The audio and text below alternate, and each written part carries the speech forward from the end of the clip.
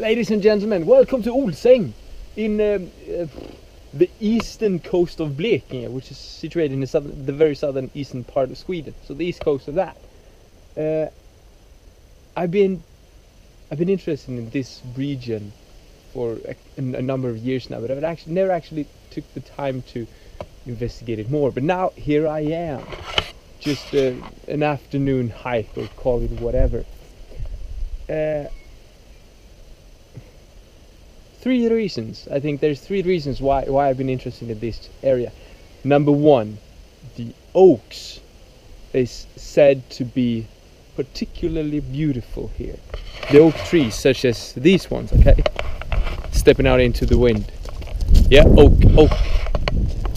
There's um, uh, they're very typical for this region, and although they're not very common since all the oaks in back in the days were used to build uh, ships.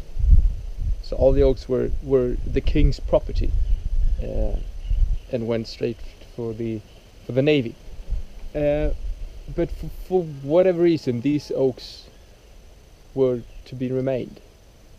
So that's why it's, it's famous oak place. Uh, that was the the biggest reason. The second reason uh, I think is the coastline. I find it interesting because because out there is the Baltic Sea. There is no islands, nothing in between the the rather big Baltic Sea and, and this coastline. And I find it so peculiar in some sense that the coastline can be so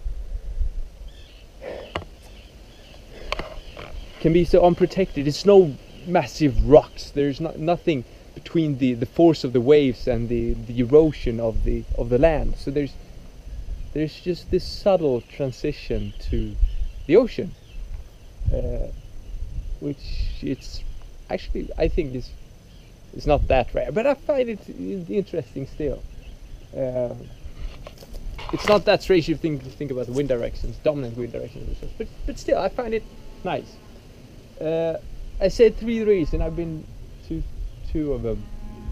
Uh, I I'll see if I can figure out a third one when I'm starting to investigate this area even more. But I would think I would say the the uh, the number one is the the oaks and two is the coastline. So we'll see if we can have these two uh, to combine them in an image. I would be thrilled if I could do that. And during that time, we'll perhaps find a third reason why I'm here.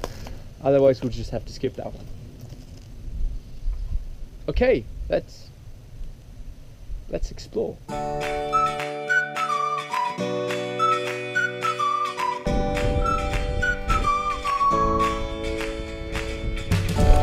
guess that is where the where they shoot from.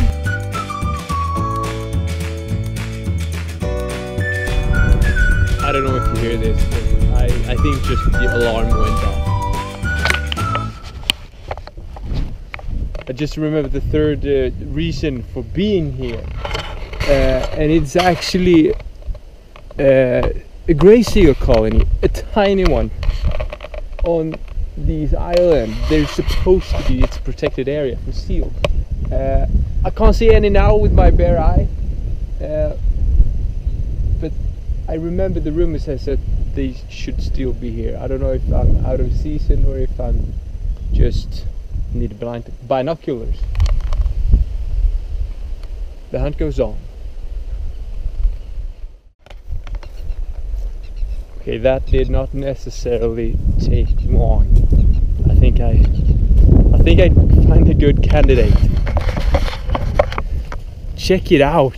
Check that tree out. I hope the wind doesn't blow this. The feeling of this tree, the sheer size of it. Wow! I'm gonna take a stroll around this, around this one. So I've been walking around the tree now for a while. that tree again, and as always, I find it a bit. Uh, I find it hard. I find it really hard to find it. Uh, to get it to work, a good composition for all of it to, to work together. I would like to have a leading line. That's where I'm standing here right now. So I have a leading line with the with the ocean as such into the tree but then again it falls I don't know how much you can see with this extremely wide angle GoPro footage, but kind of blends together too much with the background.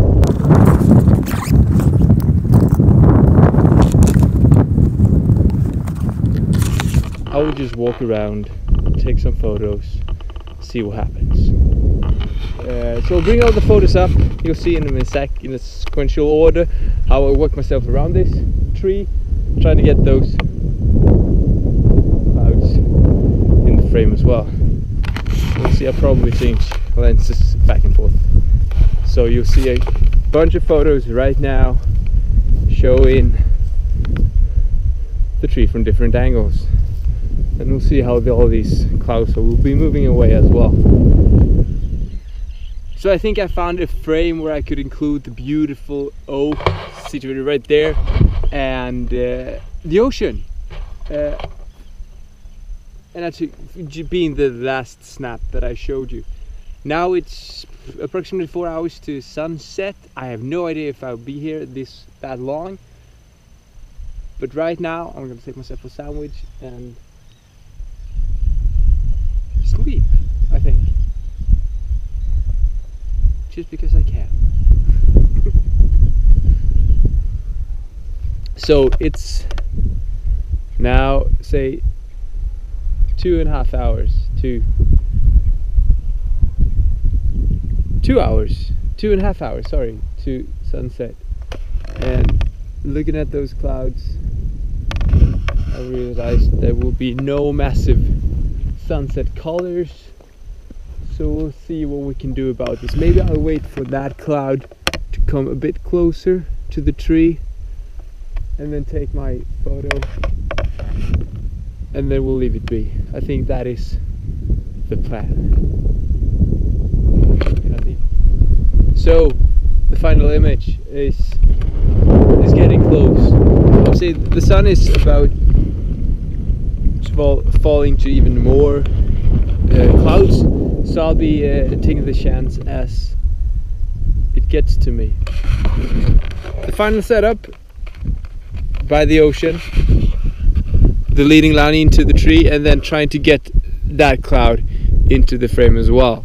So I'll be having that on one side and the cloud to be balancing out the frame on the other side.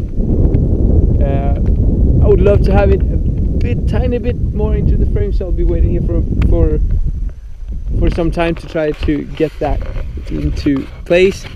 I am using a two stop soft grad ND and inside of that is a neutral density three stop to get smoothing out the the ocean. Uh, right now it's not as much uh, the shutter speed isn't long enough for what I'm hoping for. I would like to have it a bit more smooth than I'm getting. So we'll see what's what will happen.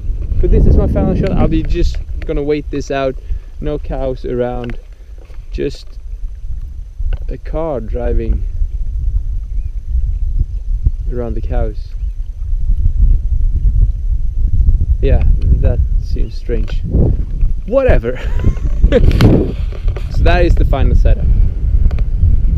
If I can't wait longer, then I have been putting on an extra ND filter just to to smooth things out. But yeah, enjoy the shot and uh, thanks for watching.